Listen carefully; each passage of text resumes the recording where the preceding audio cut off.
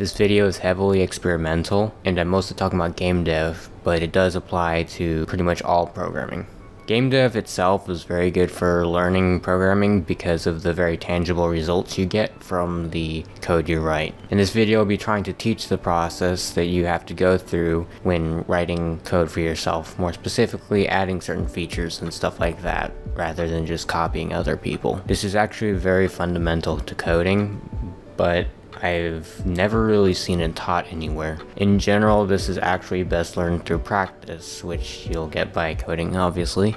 However, you can only get the experience in that if you know what to be doing. I see a lot of people avoiding doing things the way that you learn from, and part of the goal of this video is to basically just tell people to stop. So the process for programming is just breaking down a feature into smaller logical chunks until you can break it down to the point where it's basically code or basically pseudocode. This may sound abstract to some or obvious for others, but a lot of people miss this concept. A lot of people will try to look up tutorials for pretty much anything they want to implement when that really shouldn't be the case. There's a certain category of things that I think you should be learning from tutorials and stuff like that, such as the basics of using your library or engine or whatever but once you're putting things together, I don't think you should be using tutorials as much. Maybe if you're stuck, but ideally you do everything yourself where possible. It makes for a better learning experience and helps you do that even more so in the future. And similar to that, a lot of people seem to think that being good at game development means understanding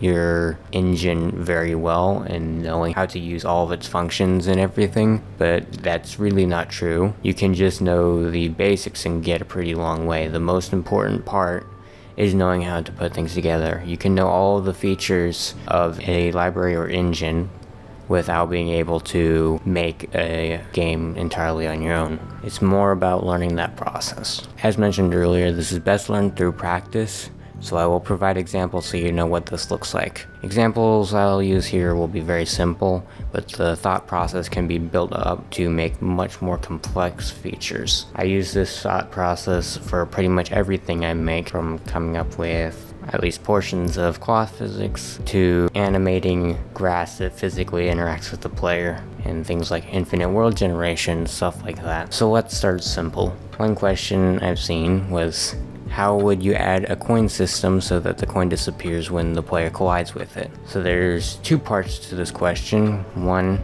is a coin system, and two is coins that disappear when you touch with them.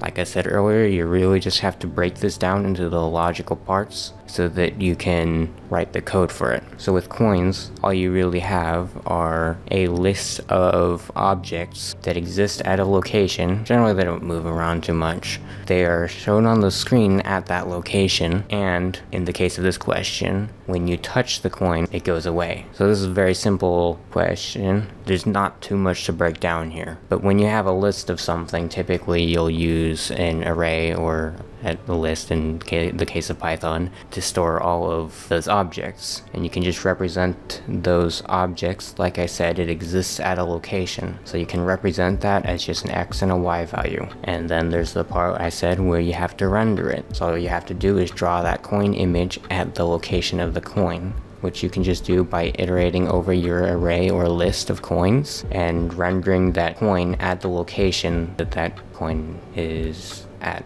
according to the data you have. The next part is making it disappear when you touch it. This is pretty simple. You can do the mathematical part where you calculate the distance between, say, the player and the coin, or some libraries or engines will have features for collision detection. So you just check if the player has collided with the coin, and then, like the question states, you want to make it disappear. The disappearance is just removing it from the list of coins that you have. Because if you think about it, you're rendering every single one of your coins from that list every frame. So if it's not in that list anymore, it's effectively gone. You could also just add to a variable that you're coin counter if you wanted to do something like that too. I actually did a video on objects and collisions in Pygame, well two separate videos. So here's another one. Do you know how to add wall jumps and double jumping? This one is really good for breaking down this process. So let's start with the wall jumps. What is a wall jump? Well it's kind of in the name. You want to make it so that if you're touching the wall, you get an extra jump essentially, or you're allowed to jump, not necessarily an extra jump. So what is jumping then? Well, jumping is the upward velocity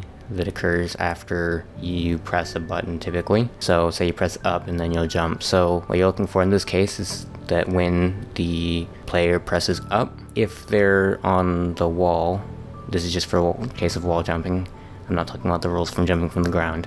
If you're on the wall and you press the up key, your velocity will go up. Now, detecting if you're on the wall is another story. Typically in 2D rectangle based collisions, you'll handle the movement on the X and Y axis individually, so you know what direction you came from when you collide. I actually have two videos on this concept, I recommend the latter, but they're my physics video, my main series, episode number 3, and I did a more detailed physics video to break down how that works. Anyways, so you can take that value where you're calculating what direction you collided with, because you have to know that direction to correct the player's position to keep them outside of that object they're colliding with. Yeah, you just take that direction and say if it's on the right or left, you're touching the wall. So you store that in a variable, it could just be boolean true or false, and when the player presses up, you just check that variable to see if they're on a wall, and if it's true, you allow the velocity to go up. Double jumping is a bit different. Double jumping is just exactly what it says, though much like wall jumping in a sense. You get to jump twice. So if you want to allow someone to do something twice, you just have a counter for how many times they're allowed to jump. Every time you jump,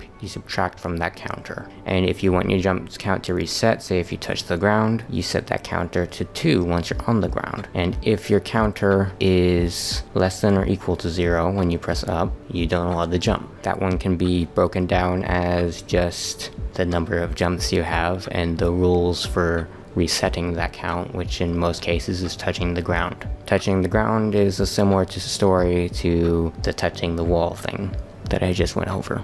Now here's a bit of a different one. This is much more visual. Someone was just asking me about how I do uh, shockwaves in my games.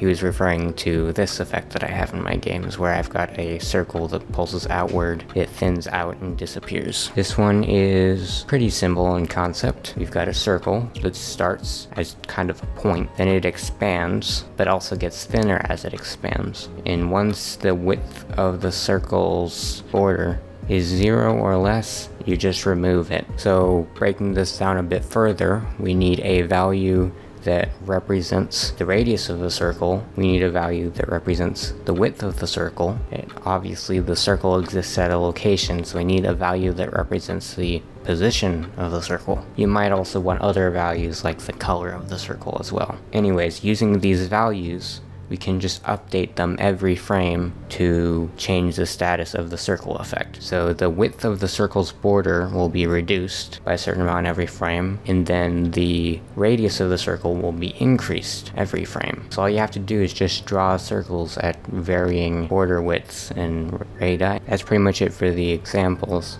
Hopefully that gives you an idea of how you might break things down logically. One step that I can't really teach you in this video because it's specific to languages is how to convert the basic logical chunks that make up a feature into the code itself. That's something you have to do by learning the language itself. And Sometimes people will ask me questions like these examples that I brought up in this video and I'll break them down to the point I did in this video some extent and they'll still be confused and at that point if they're confused I would just say that they need to be more familiar with the language they're using or they need to move to simpler problems. In general it's just best to start small doing things that don't seem too intimidating build up your ability to follow this process and implement that into code and then eventually you'll be able to implement almost anything you want. Anyways that's pretty much it for this video. If you have any questions can head over to my Discord server. I've got a channel dedicated to questions there. I'm also working on a devlog series if you're interested in my projects, or you can check out my Twitter where I post fairly regular updates on my projects. Hopefully I'll see you guys in the next video.